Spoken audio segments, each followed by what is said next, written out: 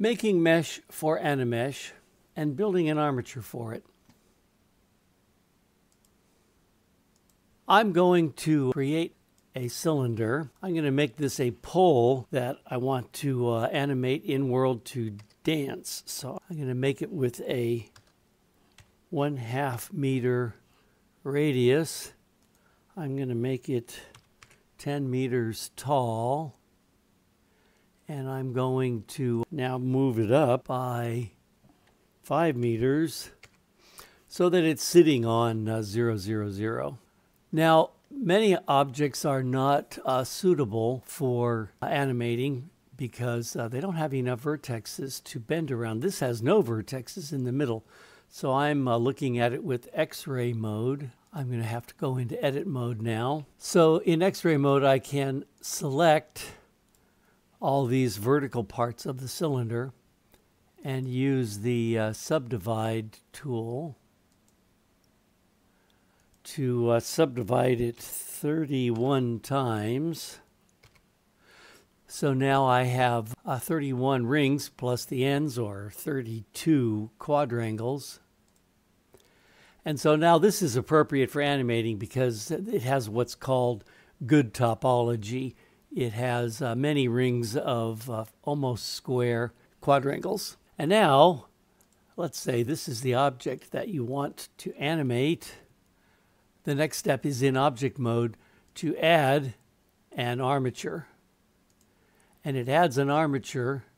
I need to go back into x-ray mode so that I can see it at 000, which is one reason why I put this uh, cylinder, uh, this pole right there with its bottom at 000 so that the first bone in the armature landed uh, right there. And it turns out that there are easy ways to set this up if your bones go exactly through the centers of your limbs. And so we're off to a good start here. Now, when I go into object mode now, I mean, when I go into edit mode now, I'm not editing the mesh anymore. I'm editing my armature. So I'm going to select the end of that, la- that first bone that the armature created for me. And I'm going to use the ordinary tools. There are tools like move. I could move the bones around. I can rotate them. I can scale them. These are all tools that you're you're used to uh, using on vertexes. It turns out they work on armatures as well, including the extrude tool. I happen to know that the shortcut for that is E. So it's pretty easy to hit E down here and extrude a new bone. And like a lot of other tools in Blender, you can type XYZ after you start a tool. I'm going to type Z and it lets you pull the bone straight up. And now it's going to stay right in the middle of our pole. And then I can also type 1. That would be easy for me to just say, oh, I'm going to hit E for extrude, and I'm going to hit Z for straight up and 1. And I could just do that uh, five more times and I have all the bones that I need. But let me show you several things that can go wrong. One of the things that can go wrong is, is that you, you can start to extrude and then you do something else that causes him to forget.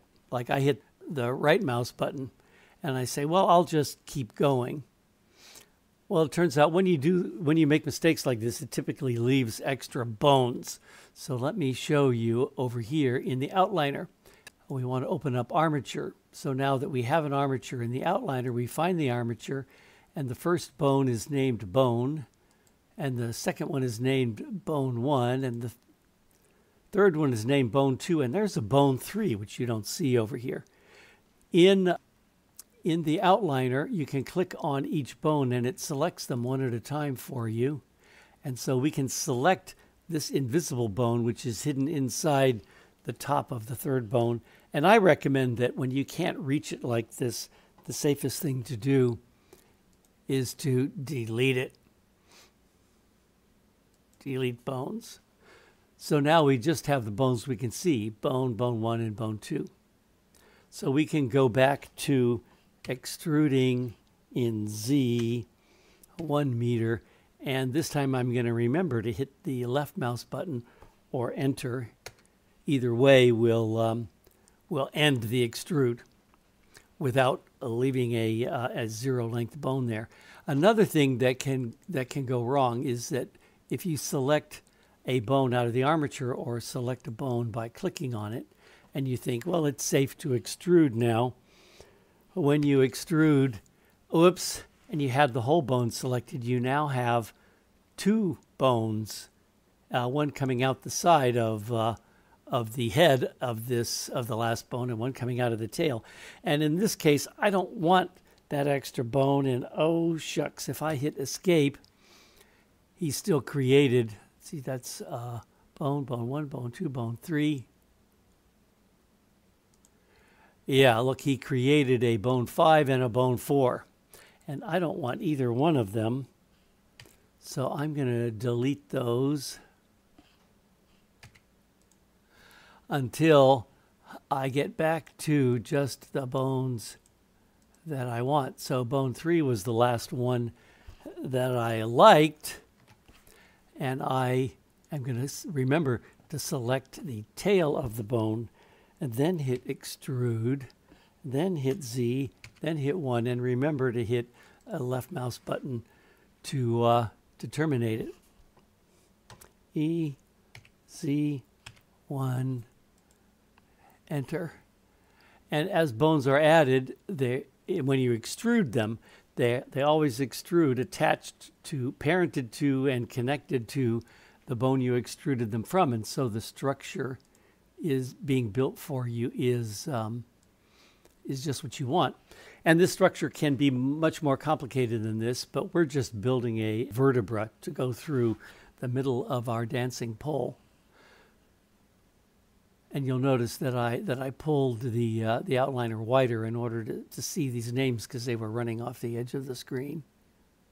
So select that last bone tail extrude Z1. Don't forget to hit enter. And we have a bone six. So now we have our root bone and we have one, two, three, four, five, six bones. Well, I'm going to stop. The regular tools that you know how to use, like I can select all the bones and hit scale and make it bigger and smaller, but I want it to scale from zero, so I'm going to tell him to scale from the 3D cursor. And then if I look at it from the side, I'll be able to scale from the cursor until my seven bones almost exactly cover my entire pole. We're not done by a long shot, but uh, I'm going to come back tomorrow with another video that picks up with OpenSim rules for the bones, parenting, and weighting.